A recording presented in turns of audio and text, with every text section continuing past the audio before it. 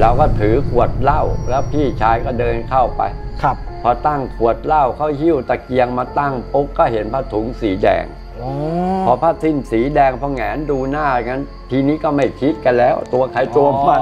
เห็นกันเถอะพ่อครูวิ่งไหมตอนนั้นโอ้โหวิ่งก่อนเพื่อนเลยอ๋อวิ่งก่อนไปเพื่อนเลยนำหน้าเลยครัตับวเล็กครับกับเพื่อนครับรถแท็กซี่ก็โดนอืมใครๆก็โดน โดนจนกระทั่ง ชาวบ้านบอกไม่ไหวครับ ต้องไปตามหมอผีวิญญาณที่ดับศูนย์ไปก่อนกำหนด เขาครับไม่ได้รู้ว่าตัวเขาตายอืมเขาก็คิดว่าเขายังเป็นคน ยังต้องมาคุกคีกับคนได้เหมือนกัน ฉันเองฉันยังขนลุก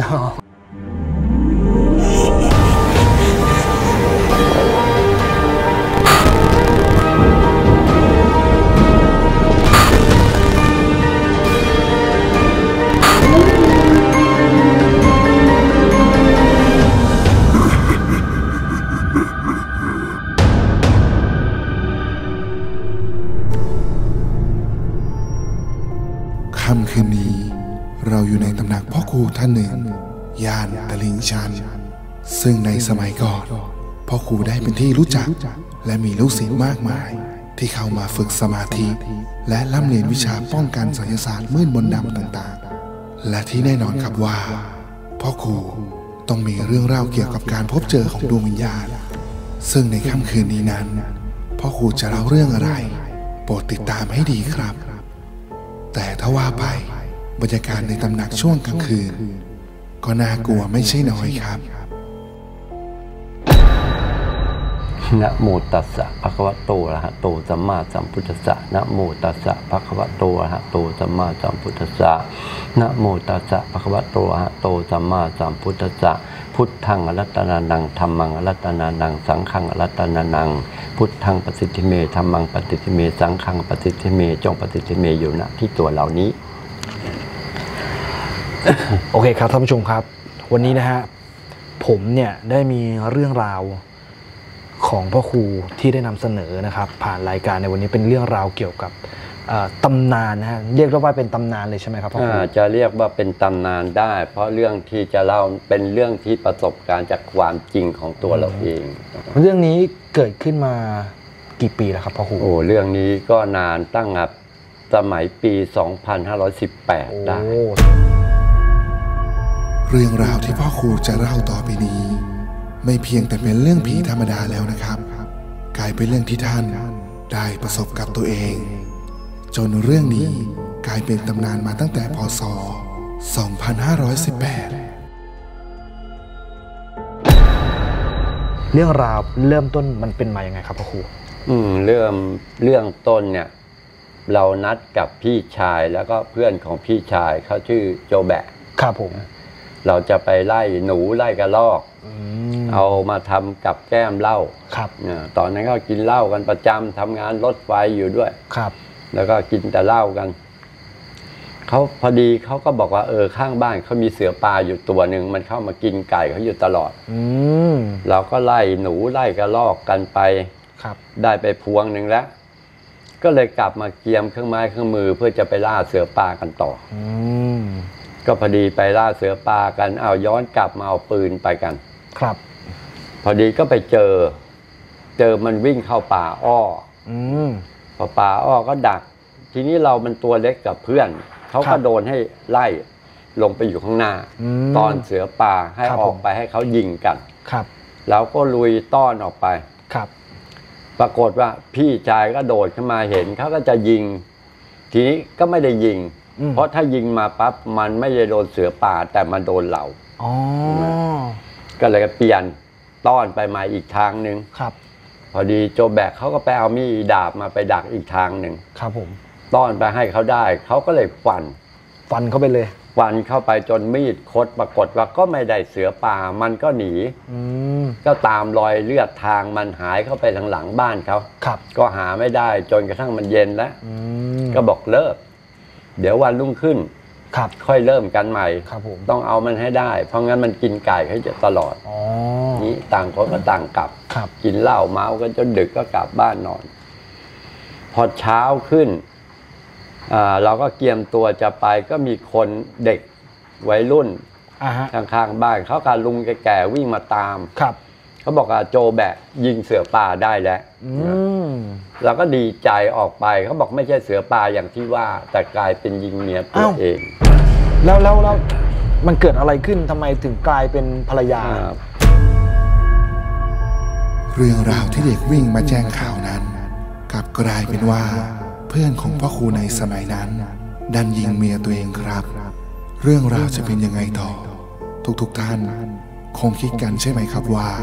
ทำไมถึงยิงเมียตัวเองตาย ลองไปฟังพร้อมกันครับ ก็ภรรยาเขาไปรดน้ำตอนเช้าสาดน้ำผักอยู่ในสวนครับนะพอสาดน้ำผักอยู่โจแบกเขาคงเมา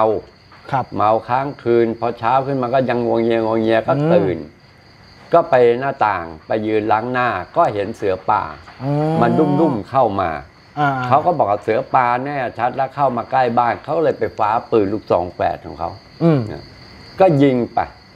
พอยิงไปตูมเขาบอกว่ามันตกน้ำเขาบอกเลือดแดงกระจายเขาก็วิ่งไปตามพ่ออีกห้องหนึ่งพ่อผมยิงเสือปลาได้แล้วไม่ต้องไล่แล้ววันนี้ยิงเสือปลากันได้แล้วครับ ทุกคนก็เฮโลไปดูอืมกลายเป็นไม่ใช่เสือป่าเป็นเมียตัวเองซึ่งท้องแก่อ๋อตรงนี้อืม ก็เลยตำรวจตำรวจก็เลยเอาแจ้งความกันมาครับตำรวจเขาก็ยังดีสมัยเก่าเขายังอนุโลมชาวบ้านอ๋อยังไม่มีการแบบว่าอ่าดำก็เนินให้คดีชาวบ้านจัดการศพซะก่อนแล้วค่อยไปที่โรงพักอ๋อเพราะว่ามันลูกเมียกันเองไม่ได้ติดใจเอาฟาร์มใช่ไหมครับการครับผิดพลาดนี่ก็เอาศพ เราก็กลับมาที่บ้านพี่ชายครับก็เอาเรือ ไปบรรทุกศพอืมเอาศพไปทำพิธีที่วัดครับผม ตอนนั้นก็สับปะเลอก็คือพ่อหลัด ช่วยจัดการทำอ่าพิธีศพให้อ่าตกตอนเย็นก็เริ่มสวดทุ่มป่าป่าไปถึงสามทุ่ม เสร็จเรียบร้อยก็พวกกินเหล้าเมาข้างโรงกันก็เฝ้าศพกันมั่ง พวกเราก็กลับอืมพาโจแบกเขาเสียใจมากครับ ก็เลยพากลับไปส่งที่บ้านสี่ห้าคน พอไปถึงบ้านไปปั๊บ เขาจุดตะเกียงมาตั้งหน้าบ้านที่แค่ไม่ไผ่ มีคนจุดตะเกียงรอ มีคนจุดตะเกียงรอเลย เพราะอ่าตอนนั้นมันไม่มีไฟฟ้าใช้กันหรอกมีแต่จุดครบครัจุบดตะเกียงกันเราก็ถือขวดเหล้าแล้วพี่ชายก็เดินเข้าไป ครับ พอตั้งขวดเหล้าเขาหิ้วตะเกียงมาตั้งปุ๊บก็เห็นผ้าถุงสีแดงอ๋อพอผ้าสิ้นสีแดงพอแหงนดูหน้ากัน ทีนี้ก็ไม่คิดกันแล้ว ตัวใครตัวมัน เห็นกันเถอะพ่อครูวิ่งไหมตอนนั้น โอ้โหวิ่งก่อนเพื่อนเลยอ๋อวิ่งก่อนไปเพื่อนเลยลำหน้าเลยครัตับวเล็กครักับบเพื่อนครับ ก็วิ่งหนีกันร้องเอตโลกันให้ลั่นครับ พอวิ่งมาได้สักยักษ์ระยะหนึ่งพี่ชายก็ถามเฮ้ยไอ้แบะมันไปไหน อืมก็เสียงเขาตะโกนให้ช่วยด้วย ช่วยด้วยเนี่ยไปอยู่เราก็ไหนล่ะย้อนกลับไปดู พอย้อนกลับไปดูที่ไหนได้ โจแบะอยู่ในกอไผ่อ๋อไผ่หนาวออกประมาณไได้สี่ห้าทุ่ม กว่าจะเอาตัวออกกันได้ก็ประมาณตีสามโอ้นั่นนะกว่าจะดิดเอาหนามเอาอะไรออกกันเสร็จครับ ก็กลับมารักษาตัวพักฟื้นตกตอนเย็นก็ไปสวดต่ออืมทีนี้พอไปสวดก็ไม่ไหวแล้วพอพระเริ่มพิธีสวดทีนี้ พระก็โดดคนก็โดดอืมเพราะที่วัดเกิดมีผีลุกขึ้น ยังไงครับพ่อครูอ่าจะว่าเป็นผีลุกจากโรงไม่หรอกมีแต่คนเห็นแต่ผีขึ้น พระก็กลัวอ๋อก็โดดหนีก็เป็นผ้าสิ้นสีแดงที่แดงหวานเขาไต่นั่นแหละครับนั่นแหละกลายเป็นผีเฮี้ยนก็โดดหนีกันอืมหนีกันออกมาเสร็จแล้วทีนี้ก็สวดไม่ได้เรื่องกันแล้วก็ต้องหยุดอ่าฮะหยุดไปปั๊บก็พยายามทำให้สะให้ครบสามคืนครับผมถึงเอาศพไปเก็บ ก็เก็บใน เมื่อก่อนจะเป็นปัจช้าครับ เขาจะทำเป็นซองต่างละที่จะใส่ศพอืมก็ใส่ของแดงหวานน่ะอยู่แฉะครับผมนะอยู่ที่น้ำแฉะหน่อยเวลาฝนตกก็ท่วม อ๋อเก็บไว้ในระหว่างที่เก็บศพยังไม่ได้เผานั่นก็ผีออกอารวาสตลอดทุกคืนเฮียน หลอกพี่น้องคนนู้นคนนี้ไปบ้านคนนู้นคนนี้ โดยที่ว่าเขาคิดว่าตัวเขาเองไม่ตายอ๋อความที่ว่าเขาไปหลอกคนอื่น จนกระทั่งพี่เขยเราขับรถตุกๆรับจ้างหากินครับ ก็มีคนเรียก เรียกเหมารถขึ้นรถอ้าวเขาก็รับมา พอรับมาปั๊บมาส่งถึงหน้าวัดตลิ่งชันเขาให้ลง พอลงเสร็จเขาก็ให้ตังค์ พี่เขยก็ดีใจกลับมาบ้านก็รีบเทเงินให้เมียบอกเนี่ยได้มาเยอะ วันนี้อืมเนี่ยหากินแม่ค้าเยอะ ปรากฏว่ามีดินอยู่ก้อนหนึ่งอืมเนี่ยดินตรงนั้นเขาก็คิดกันไปคิดกันมามานึกได้ ว่าที่รับมานั่นคือแดงหวานอ๋อเป็นวิญญาณใช่ ความตกใจความกลัวของคน ทีนี้มันก็มีอย่างนั้นกันมาตลอดเป็นปีๆรถแท็กซี่ก็โดนอืมใครๆก็โดน โดนจนกระทั่งชาวบ้านบอกไม่ไหว ครับ ต้องไปตามหมอผี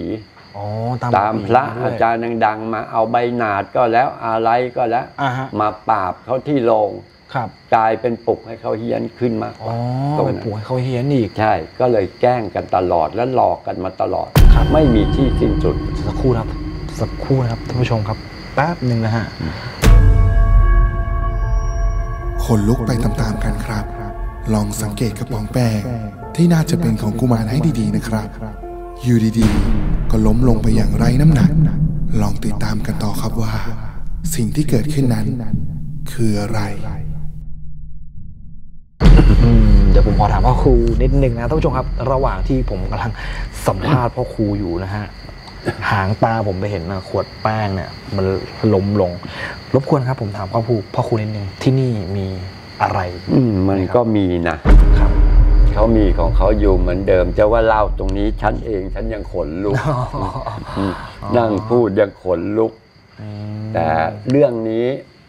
มันเป็นเรื่องจริงครับ เพราะก่อนจะเล่าจะคุยเราก็ต้องขออ๋อต้องขอ ไม่ใช่เอาพี่มาประจานอ๋อ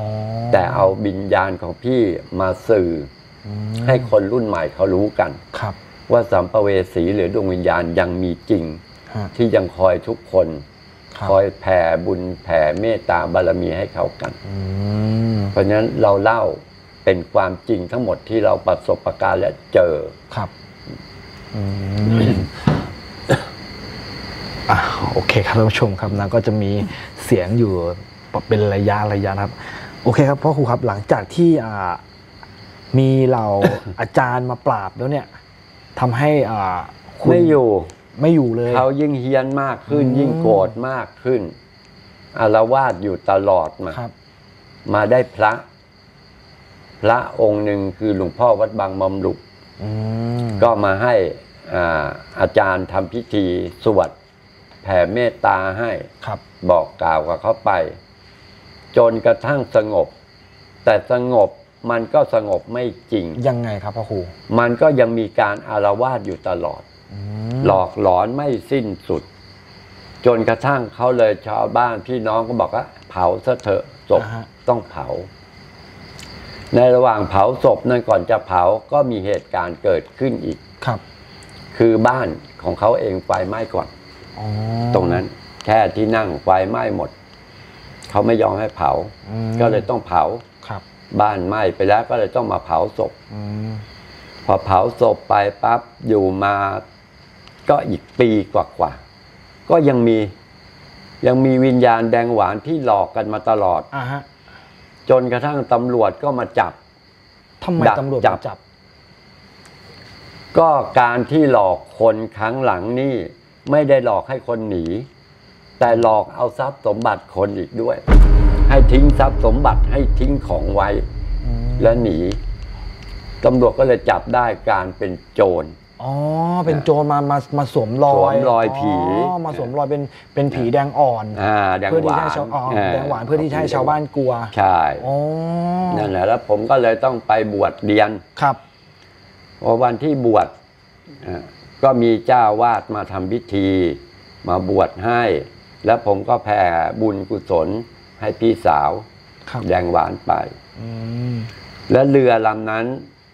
ที่รับศพแดงหวานมาอ่าฮะ ไม่ใช่ศพแค่แดงหวาน เมื่อก่อนทุกคนที่ตายจะต้องไปเรือลำนี้ เพราะมีเรืออยู่ลำเดียว อืทั้งหมู่บ้าน ครับเขาก็เกิดเอาเรือไว้ไม่ได้ ทำไมคก็รับให้ผมมาทำกิน อ๋อพี่ชายบอกกลัวเพราะอยู่ๆแล้วเรือก็มีเสียงเด็กร้องอ่า นะเด็กเล่นเรือมีเสียงเด็กร้องอยู่ตลอดอ๋อจนเขานอนไม่ได้ ผมก็เอามาทำกิน มาทำกิน เดี๋ยวมาบรรทุกมะพร้าวครับเดี๋ยวน้ำเต็มลำเรือมั่ง บางทีก็น้ำแห้งมั่ง บางทีพอน้ำเต็มเราก็ต้องตะโกนว่ากันมบอกถ้าขืนหลอกอย่างนี้จะไม่ให้กินกันอีกครับเขาก็เงียบหายไป จนกระทั่งมาผมบวชในระหว่างบวชเรือก็เอากลับมาล่ามไว้ที่ริมคลองครับผม พี่เขยเมากลับมา ทะเลาะกับเมีย ก็ไปเยี่ยวรถหัวเรืออ๋อเท่านั้นละบ้านช่องอยู่ไม่ติดเลย ยังไงครับพ่อครูเมียก็ต้องเห็นผีขึ้นบ้านอืมผัวก็เห็นผีอืมทะเลาะกันเองอ่าฮะวิ่งกันตลอดอยู่กันไม่ได้ ไม่มีใครนอนได้อืมและประกอบกับลูกผมกำลังเล็กครับๆก็มีหมอดูคนหนึ่ง เขาบอกกับแม่บ้าน ว่าผีแดงหวานเนี่ย จะมาเอาวิญญาณลูกผมไปอืมผมเองผมไม่เชื่อครับตอนนั้นว่าผีพี่หวานจะทำอย่างนั้น ก็เลยตัดสินใจ เพราะตอนนั้นเรายังบวชเป็นพระ ก็เลยนำเรือไปถวายหลวงพ่อช่วงอืมวัดจำป่าครับผมโดยการที่ว่าลูกเราจะได้ปลอดภัย ก็ปล่อยเขาให้แม่เขาทำกัน ปรากฏไปอยู่ได้วัดคืนเดียวลุงพ่อไปหาที่วัด หลวงพ่อช่วงไปหาเลย บอกว่าเรือเองไม่ไหวเว้ยอืมขนาดล่ามโซ่ มันก็ออกไปหลอกแม่ค้าเขาข้างนอกไปพายเรือไปชนกับเขาโอ้ไปแข่งกัน เดี๋ยวเข้าเดี๋ยวออกหลอกมาเป็นปีพายเรืออยู่อย่างนั้นเป็นพายปีเรือตลอดเลยครับใช่ลามก็แล้วเอาไม่อยู่ล่ามด้วยก็แล้วอะไรก็แล้วไม่ครับมีอยู่เลย จนกระทั่งปัจจุบันเรือลำนี้ยังอยู่ ยังอยู่ด้วยเหรอครับยังอยู่ที่วัดจำปาอ๋อยังอยู่ที่หลวัดวงนั้นพ่อท่านมรณภาพ ก็มีเจ้าอาวาสองค์ใหม่ขึ้นมา ขึ้นมาก็เอาเรือขึ้นไว้บูชา แต่ชาวบ้านก็ยังเจอกัน ยังเจอกันอยู่เจอนั่งอยู่ในเรือนั่งที่เรือก็ไปขอหวยกัน อ๋อจนถูกกันมาตลอด ครับ แต่ประวัติของเขาเขาก็เล่ากันตามสื่อที่เอาออกไปต่างครับผมๆ ก็แจ้งเหตุการณ์อย่างไม่เป็นจริงให้ชาวบ้านเขารู้ อ๋อ แต่แท้ที่จริงเราคือเจ้าของเรือยังมีชีวิตอยู่จนทุกวันนี้อืมก็คือเป็นพ่อครูนั่นเองนั่นแหละเจ้าของเรืเจ้าอของเรือลำนั้นที่มาของแดงหวานอืมแกไม่ได้เฮี้ยน แต่แกต้องการให้คนรู้มากกว่าอ๋อว่าวิญญาณที่ดับศูนย์ไปก่อนกำหนด เขาครับไม่ได้รู้ว่าตัวเขาตายอืมเขาก็คิดว่าเขายังเป็นคน ยังต้องมาคุกคีกับคนได้เหมือนกันอ๋อแต่คนไปรังเกียจเขากันเองครับ เพราะจะเห็นเขาได้ในที่มืดอืมตรงนั้น แล้วแล้วหลังจากนั้นก็ไม่มีเหตุการณ์อะไรเกิดขึ้นอีกเลย ไม่มีเลยตอนนั้นเงียบ แต่ตอนนี้ก็ยังมีอยู่ที่วัดจำปา ยังมีอยู่ในที่ยังมีอยู่พายเรือให้คนเห็นถ้าคนไปหรอถ้าอยากดูอยากรู้ ต้องพายเรือไปหาตอนกลางคืนต้องพายเรือไปหาไปด้วยหาแล้วเดี๋ยวจะเจอกันเองเอาละครับท่านผู้ชมครับนะ ก็เรื่องราวทั้งหมดที่พ่อครูได้นำเสนอในวันนี้ฮะอยากให้ท่านผู้ชมเนี่ยตัดสินใจนะฮะด้วยตัวท่านเองนะครับ จะเชื่อไม่เชื่อก็อยู่ที่ดุลลพินิษแล้วก็วิจารณญาณของแต่ละท่านนะครับโอเคครับนะสำหรับในค่ำคืนนี้นะเดี๋ยวก่อนที่ผมจะจากไปนะครับ ผมอยากให้ท่านผู้ชมนะครับนะ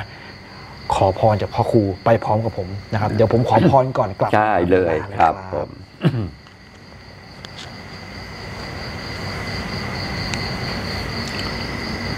อิติปิโสภะคะวาดับสารพัดทุกข์ดับสารพัดโศกดับสารพัดโลกดับสารพัดภัยดับสารพัดเคราะห์ เสนียดจังไรละจับประเคาะกลางวันละจับประเคาะกลางคืนละจับประเคาะข้างคืนละจับประเคาะข้างแรมเคาะวันเคาะเดือนเคาะปีเคาะดีเข้ามาเคาะร้ายออกไป ขอให้ทีมงานเราทุกคนที่เกิดวันเสาร์วันอาทิตย์ วันจันทร์ วันอังคาร วันพุธวันพฤหัสวันศุกร์จงหายทุกข์หายโศก หายโรคหายภัย หายเสนียดจังไรขอให้ท่านทั้งหลายจงมีชัยชนะ มงคลทนโทษโทสาวิญญาณสัมปันโนอิติปิโสภะคะวาโอมมนุษย์นังพุทธสังเตโชอายุวันนะสุขะภระสุขขังพระลังสัพพติถามิ จงเจริญเจริญทุกทุกคนครับ โอเคครับท่านผู้ชมครับและ ในค่ำคืนนี้นะครับผมนะฮะผมและพ่อครูรวมไปถึงทีมงานทุกท่าน ก็จะต้องขอตัวลากันไปก่อน ติดตามพวกเราได้นะครับผมกับ 10 เรื่องราวนะฮะ10 เรื่องเล่าและ 10 ความน่ากลัว ผ่านทางเว็บไซต์และแอปพลิเคชันบักกับบูทีวีสำหรับในค่ำคืนวันนี้ฮะต้องขอตัวลาไปก่อน สวัสดีครับพรโสยาติธรรมโมจะอายังวิทัสสิโตเปตานะบูชา จักกตาอุลาลาพัรัญจาภิกขุนะมนุปทินนังตุมเหหิปุญญังปัสสุตังอนัปปกันติอีทังสัพพเปตานังโหนตุสุขิตาโหนตุสัพเพเปตา ขอส่วนบุญนี้จงสำเร็จแก่เปรตทั้งหลายทั้งปวงขอให้เปรตทั้งหลายทั้งปวงมีความสุข